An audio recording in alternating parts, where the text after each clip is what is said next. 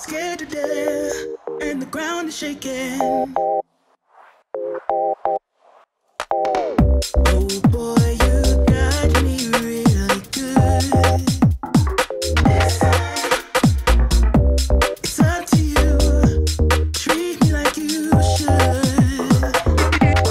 This is for everyone that complained in part 1 that the surfaces on these beds were different. Okay, so in this video we're going to do some more advanced tests on these heated beds. I got a lot of good feedback from the last one, so I scrapped the entire second part that I had already filmed and voiceovered and did it all again, but better, I hope. So let's go through what I changed. Um, the first obvious one is that I painted all these beds in the same matte black paint. I'm not sure if I'm ever going to get this paint off the PI surfaces again, but hey, for science, and yes, this is one of the coated Prusa PEI sheets, but it's one of the very first generation ones, and this top side was starting to show some of the flaws those older beds had, like the markings uh, starting to come off, so it's fine, don't, don't worry about it. But why did they paint all these in the first place? It's about emissivity, because I'm looking at these with a thermal camera. Yes, this is a camera, it's just in a different wavelength. Um, if the surface is reflective, I'm not actually going to pick up the temperature of the part itself, but the temperature of whatever is being reflected. Just like when you look in a mirror, uh, you don't see the mirror itself, but you see the reflection of yourself. And having a matte paint is just going to give really good and consistent results. Now, there were a few suggestions to use tapes or grease or other stuff that would be more easily removable, but I wanted a really thin layer that was thermally really well coupled to the surface and paint was what I had available. The next suggestion was to take photos instead of video with the FLIR 1 camera attachment. And yes, I did do that for part 2, and that's because the JPEGs you get out of the FLIR camera app aren't just a static photo. They actually contain so much more information than what the image is showing you, and you can then take the JPEG and take it into FLIR tools, the software you can run on your computer, and analyze the data to your heart's content. And we will do that today. And lastly, I know Stefan, Stefan from CNC Kitchen does charts really well, and you guys wanted to see some charts on these data that I'm generating, so yes, I made charts in Google Docs. If you guys know how Linus Tech Tips or Gamers Nexus make their actually really nice charts, uh, let me know in the comments below, eh? Alright, so what are we testing today? Three things. Again, th three. Uh, the first one is actually not using a thermal camera at all, but a dial gauge. So in 2013, I had finally figured out why the first layer of my print would always peel off from the rest of the print. And it was because when the bed temperature changed during the print, say with a hotter first layer and then dropping the temperature for the rest of the print, it would warp by a lot and actually act as a lift for the entire print and move it away from the nozzle. The side with the heating traces uh, would get so much hotter than the non-heated side that it would expand and physically warp the bed by about as much as a full layer height. That's crazy. But to a small extent, you'd also get issues if during the print the bed keeps bouncing up and down as it tries to regulate its temperature. The next test today is looking at those temperatures and how even everything looks with those newly painted surfaces. I've got the min, max and average temperatures of these beds in their full extent and then with a 2 centimeter safety margin from the usually cooler edges uh, and took those right after they had heated up which is when typically the print would start, and also 5 minutes later to hopefully give it some time to settle in. And lastly, I think this is a really fun one. I'm going to use this fan to simulate a part cooling fan blowing over the bed. We look into how quickly and how much it cools down the surface of the bed, which is, of course, where your part should stick, and also how quickly that surface temperature recovers when we take the fan back off. And remember, while these tests are done with specific printers, the goal is to show which bed assemblies work and which don't. So I've picked these exact printers you know, three more that I don't have on this table, um, to have a big variety of bed stack-ups, and you should be able to transfer what we're learning from these beds to get a sense of how other beds should perform. That's also the reason why I'm not using each printer's own part cooling fan. Uh, they would just have been way too different to draw any reasonable conclusion from them. Just to recap, These are the contenders and their stack-ups. The Ultimaker 3 with glass clamped over an aluminum heater PCB, the Ender 3 with a thicker aluminum PCB, no glass, but a BuildTak clone sticker on top, the Prusa Mark 3 with a thick FR4 glass fiber, heater PCB and a magnetically held down PEI coated steel sheet on top, the Lulzbot Mini first generation with a silicone heater mat uh, stuck to the bottom of a glass sheet, and then a PEI sheet stuck to the top, and the Sigma R17 with a PCB heater and the glass sheet suspended over it.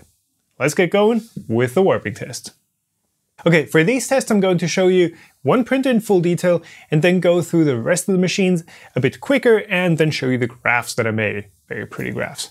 Let's start with the Ultimaker again, because I think this is the one that is the closest to what one would expect. I've always tried to set the indicator to as close to zero uh, as I could at the start, and then set the bed temperature to 60 degrees.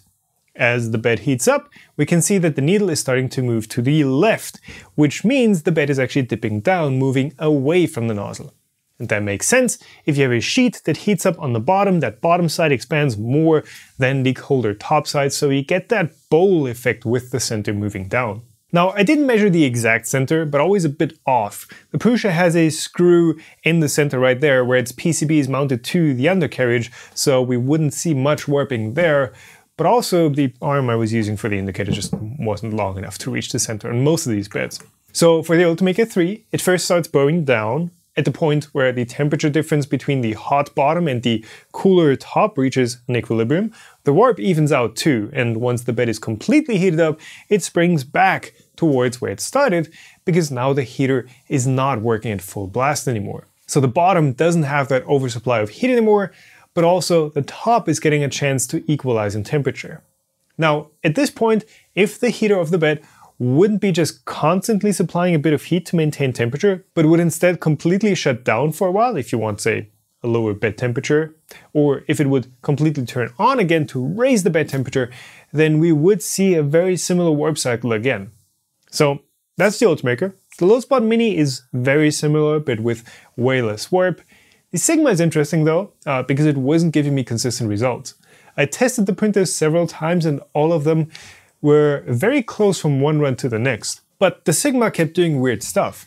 The first try saw a curve like what we had with the Ultimaker, but with about twice as much warp, and subsequent runs had this kink in the curve where for the first half of the heat up time it would warp downwards and then start warping up again. In either case, the delta between the minimum and the maximum deflection was similarly large though. Now, the Prusa is the only machine with its heating traces on the top side of the heater, so it bows upwards as it heats and back down as it cools. And because it's FR4 glass fiber, it does warp quite a lot, and due to how the glass fiber is laid in the PCB, it also just straight up expands more in the Z direction versus its XY plane as its temperature increases, so that bump is expected. Once it is up to temp, of course, it warps back downwards, but that movement is not as much as the other beds. One thing that's also interesting is the Ender 3, because there's actually not much warp at all, other than when the heater shuts off at the end, but during heat up, there's like nothing happening. Once again shows that all aluminum beds are not a bad idea at all.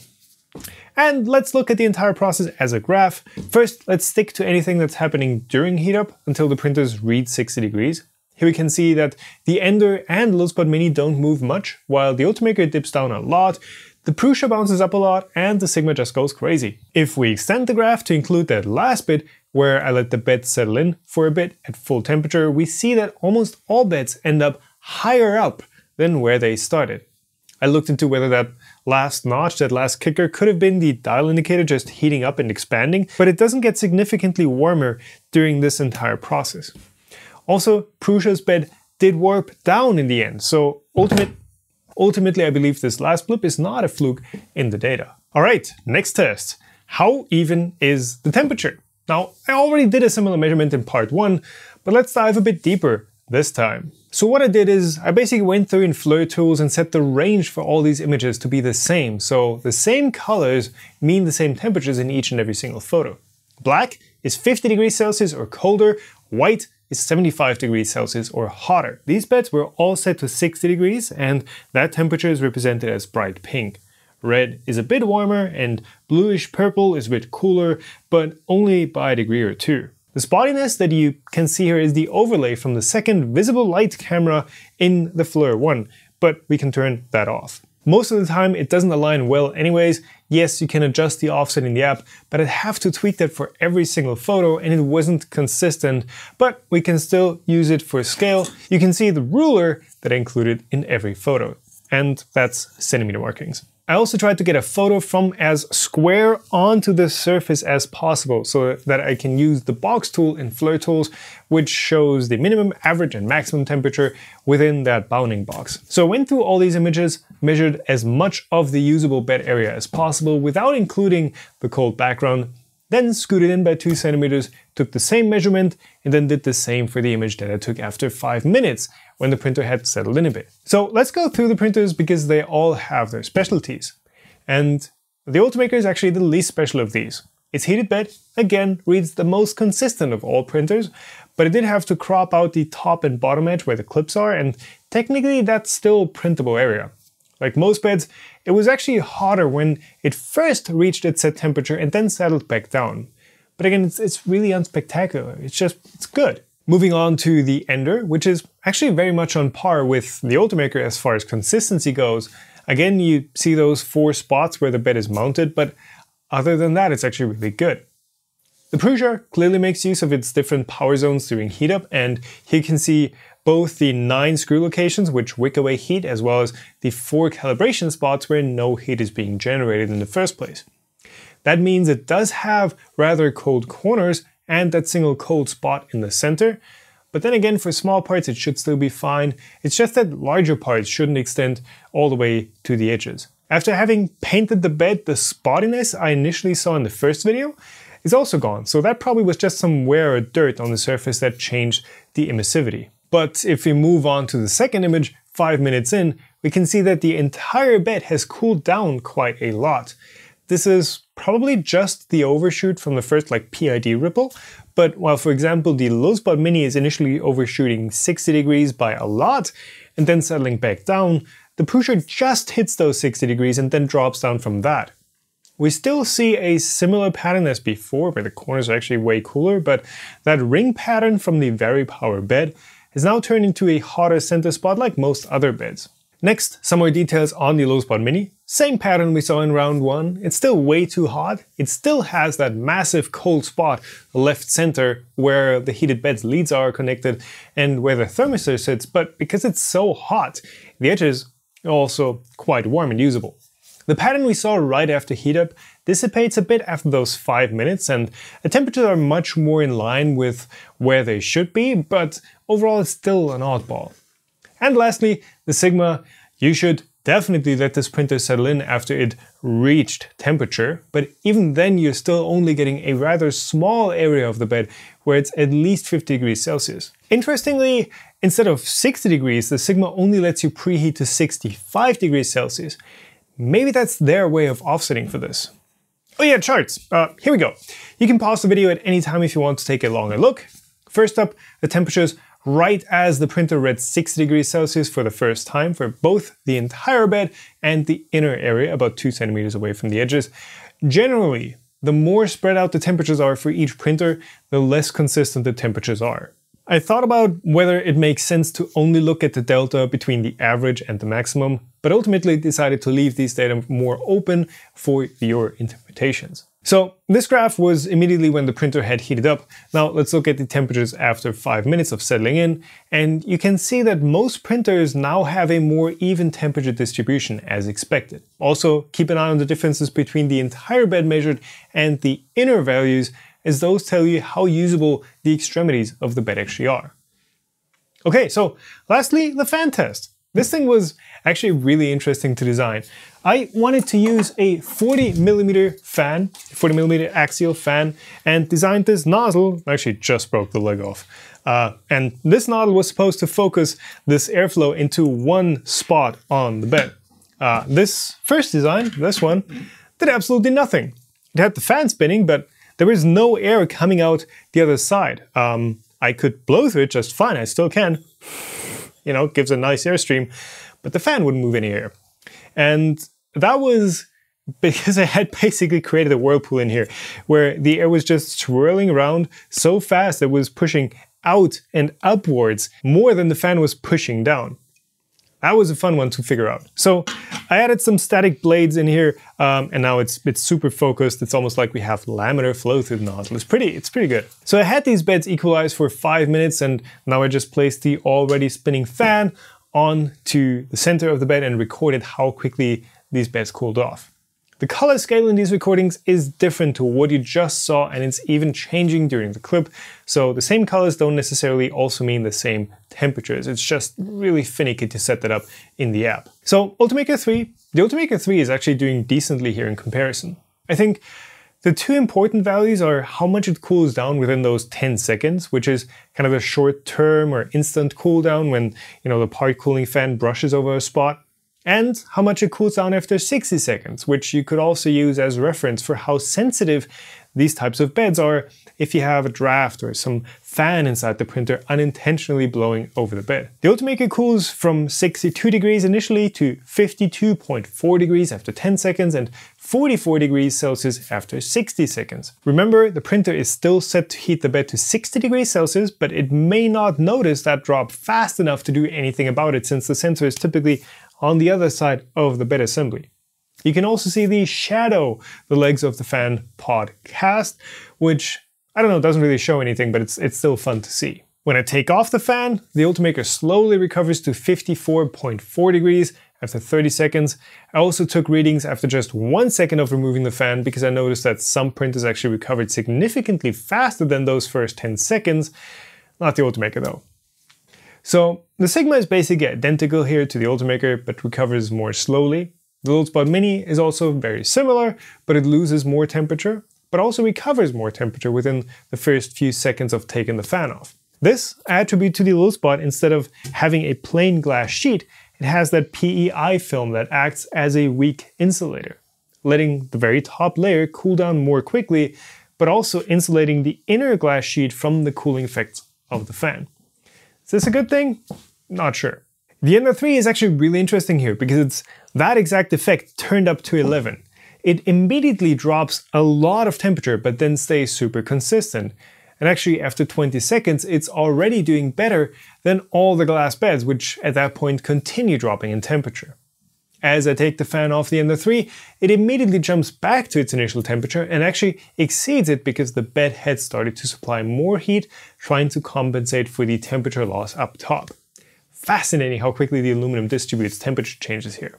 The Prusa, having a steel core and a PEI coat, is similar to the Ender, stays consistent after the first few seconds, but doesn't recover as quickly. It's only a steel sheet and not a chunk of aluminum as on the Ender, and steel doesn't perform nearly as well as aluminum when it comes to thermal conductivity. And here's the graph for all of that. So, what do we learn from this? Well, I think a few things. First of all, all of these heated beds work. They all hold down your regular old PLA prints just fine most of the time. Looking at temperature distribution though, it's clear that on basically all these printers, you should stay away from the very edges of the bed unless you just have to print something that won't fit on the print bed any other way. It's also once again clear that having any sort of aluminum heat spreader in a bed is always a good thing. It spreads heat out evenly as the name implies, and if it's the last layer up top, it also makes the bed very resistant to cooling from drafts or fans. Aluminum also doesn't warp much if it's the only structural layer in a bed, as we saw within the 3, simply because the temperature difference between top and bottom is evened out so quickly. Now, on the topic of warping, the way I solved warping in my FR4 PCB based bed back in the day is that I had modified the Marlin firmware to include a bed power output windowing function. Okay, so while it was trying to hold the temperature on the heated bed, it would learn how much power it needed to maintain the temperature and then only allow the bed output power to swing in a much smaller envelope. So instead of going from no heating power for a while and then swinging back to full blast for a few seconds again, which would of course create that temperature difference between the heated and unheated side again and warp the bed, it would first start out at, say, limited to between 20 and 80%, and then close to, say, keeping the output power between 40 and 60% at all times.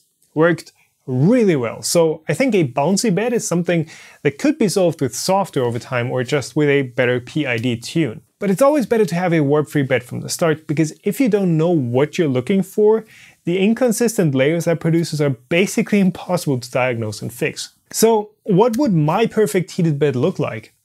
I've actually already got it my almost done rebuilding it uh, Mendel 9000 test platform. I've been using this heated bed for years. A viewer had sent me this PEI coated aluminum sheet. It works beautifully. And this was way before Prusa started coating things. And it's got a high power silicone heater on the bottom. I've got the same aluminum and silicone setup on the Cerberus Reborn Delta. E3D make their Mordor beds in much the same way, but skip the adhesive, which, as you could see on the Lulzbot Mini, tends to bubble up. And I think that's really the best type of heated bed. If you don't care about a removable flex plate, that is. Uh, aluminum PCBs are much of the same and work just as well, and are probably easier to get made if you're manufacturing a product, while the silicone heater mat and milled aluminum is something that's easier to build yourself and match into your printer project's size and spec-wise. But then again, glass also works, you know? It's just not the best material for these. And yes, this is one of those cases where there is a best approach. I usually try to avoid saying this is the best one because it depends on what you're trying to do. But in this case, aluminum is just straight up the best solution. Well, silver, gold, diamond, carbon nanotubes, and graphene would have even better thermal conductivities. Not sure why people aren't building heated beds out of those. Um, well, that's going to have to be an investigation for another day. For now, I hope you learned something. If you did, I'd appreciate a thumbs up. If you want to see more videos like this one, click the subscribe button and don't forget that bell. YouTube actually shows me which videos people actually subscribe on, so that's a really good indicator for me on what content I should make more of. And if you want to help make it happen, consider supporting the channel with a dollar or two on Patreon. Much appreciated. Alright, thank you for watching, and I'll see you in the next one.